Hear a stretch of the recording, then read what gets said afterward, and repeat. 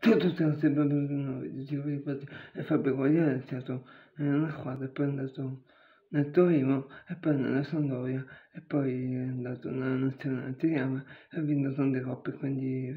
me parlavo di lui, quindi eh, e Fabio Guagliare non è stato in queste squadre, quindi me parlavo di lui, quindi voglio dirvi di Fabio Guagliare che è stato in queste squadre e ha fatto anche di tang kora wo sha tang, di du me, di sun na sun di chao su tang.